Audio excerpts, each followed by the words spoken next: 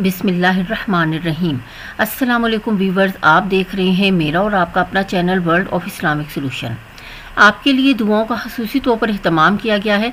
जो भी हवा तीनों हजरा दुआ के लिए अपना नाम देना चाहते हैं, वो कमेंट सेक्शन में अपना नाम दे सकते हैं। इन ताला खसूसी तौर पर उनके लिए दुआ की जाएगी।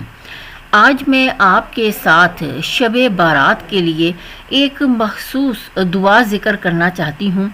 ये एक ऐसी दुआ है जिसको आप अगर आम रूटीन में सुबह शाम तीन दफ़ा पढ़ें तो अल्लाह पाक आपकी वो हसरतें भी पूरी फरमाएँगे, जिनको लेकर लोग कब्र में चले जाते हैं और वो पूरी नहीं हो पाती।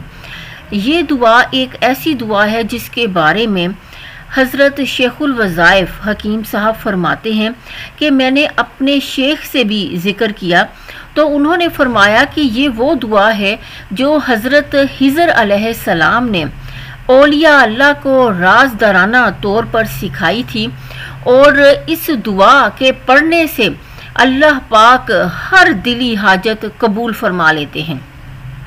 तो शब बारात की रात आप इस दुआ को अगर सिर्फ़ तीन बार पढ़ लेंगे देखिए मगरिब के बाद जो है वो शाम, यानी शब बारात की रात जो है वो शुरू हो जाएगी। तो आप मगरिब की नमाज़ पढ़ने के बाद तीन बार सिर्फ़ इस दुआ को पढ़ लें और इस दुआ के पढ़ने का ये कमाल है कि ये दुआ पढ़ने से अल्लाह पाक इंसान को अपने अबदालों में शरीक कर लेता है। इस दुआ का पढ़ने वाला अल्लाह का वली बन जाता है और जब इंसान अल्लाह का वली बन जाता है तो वली चूँकि अल्लाह का दोस्त होता है और दोस्तों की आपस में जो है, वो बहुत राजो न्याज की बातें होती हैं। तो अगर दोस्त जो है, वो अपने दोस्त से कुछ माँगता है तो वो उसको ज़रूर देता है। चाहे वो दोस्त जैसा भी हो, उसको उससे कितने गिले शिकवे क्यों ना हो, लेकिन वो उसको देता ज़रूर है। तो अल्लाह पाक की मोहब्बत और रहमत तो अपने दोस्तों के लिए, अपने बंदों के लिए बहुत ज़्यादा है। तो जब इंसान कोई अल्लाह का वली बन जाता है तो उसके मुँह से जो भी दुआ निकलती है, अल्लाह पाक वो ज़रूर कबूल फरमा लेता है। तो इस दुआ के साथ ख़ास अल्लाह ताला का वादा है कि जो भी ये दुआ पढ़ेगा इस सुबह शाम तीन बार, मैं उसको अपना वली बना लूँगा, उसको अपना अबदाल बना लूँगा। तो जब आप अल्लाह के वली बन जाएँगे तो फिर आप जो मर्ज़ी अल्लाह से मांगे, अल्लाह पाक आपको अता फरमाएँगे। और शब बारात तो एक ऐसी रात है, जिसमें अल्लाह ताला खुद फरमाते हैं कि है कोई सवाल करने वाला जो आज मुझसे सवाल करे, मांगे, और मैं उसको अता कर दूँ, उसकी झोली आज भर दूँ। तो शब बारात की शाम को आपने ज़ाया नहीं करना। शाम से लेकर तलुब आफ्ताब तक आपके पास बहुत वक्त है। आप मगरिब की नमाज़ के बाद या इशा की नमाज़ के बाद इसको, या पूरी रात में आप इसको तीन दफ़ा पढ़ लें और जब फजर की नमाज़ पढ़ लें तो उसके बाद भी आप इसको तीन मरतबा पढ़ लें और फिर आप इसको ज़िंदगी का मामूल बना लें। शब बारात की रात में सिर्फ़ तीन दफ़ा पढ़ के आप अल्लाह से जो मांगेंगे, अल्लाह पाक आपको अता फरमा देंगे। वो दुआ कुछ इस तरह से है। मैं आपको इसका तर्जमा भी बताऊँगी ताकि आपको सारी दुआ की समझ भी आ जाए। दुआ अरबी में कुछ इस तरह से है। अल्लाह मगफिर उम्मती सैदिना मोहम्मद। अल्लाह मरहम उम्मता सैदिना मोहम्मद। अल्लाह मस्तुर उम्मता सैदिना मोहम्मद। अल्लाह मजबूर उम्मता सैदिना मोहम्मद। अल्लाह असलिख उम्मता सैदिना मोहम्मद।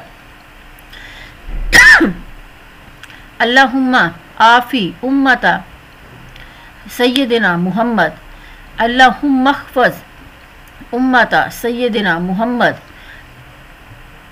अल्लाहुम्मरहम उम्मता सैदिना मोहम्मद रहमतन आमतन या रब्बल आलमीन अल्लाहुम्मगफिर लिउम्मती सैदिना मोहम्मदिन मगफिरातन आमतन या रब्बल आलमीन अल्लाहुम्मा फ़र्रज अन उम्मती सैदिना मोहम्मदिन फ़ार फ़ारज यहाँ पे जेर ज़बर कुछ लिखी नहीं हुई फ़ारजन आजिलन या रब्बल आलामीन आपको अगर इस मैं स्क्रीन पे शो कर रही हूँ, अगर आपको इससे भी क्लियर नेट पर मिल जाए तो आप उसको देख के पढ़ लें। ये किताबों में भी ये दुआ लिखी हुई है।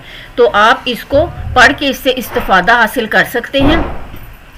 मैं इस दुआ का आपको तर्जमा भी बता रही हूँ।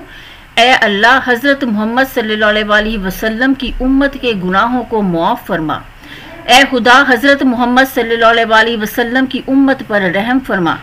ए खुदा, हज़रत मोहम्मद अलैहि वसल्लम की उम्मत की इसलाह फरमा। ए खुदा, हज़रत मोहम्मद अलैहि वसल्लम की उम्मत के अयूब की पर्दा पोशी फरमा। और इनके गुनाहों, बुराइयों को छुपा ले और इनसे दरगुजर फरमा। ए अल्लाह, हज़रत मोहम्मद सल्लल्लाहु वसल्लम के उम्मती के टूटे हुए दिलों को जोड़ दे। ए खुदा, हज़रत मोहम्मद सल्लल्लाहु वसल्लम की उम्मत पर कुशादगी, यानी रिस्क में बरकत अता फरमा और फ़क्र फाका को गनी और तवंगरी से तब्दील फरमा दे। सुबहान अल्लाह। वीवर्स मुझे उम्मीद है कि आपको मेरी आज की वीडियो पसंद आई होगी। ज़रूर लाइक और शेयर कीजिएगा और अगर आप हमारे चैनल पर नए हैं तो चैनल को सब्सक्राइब कर दें और साथ ही बेल आइकॉन के बटन को ज़रूर प्रेस किया करें ताकि मेरी हर नई आने वाली वीडियो से आप मुस्तफ़ हो सकें। शुक्रिया, अल्लाह हाफिज़।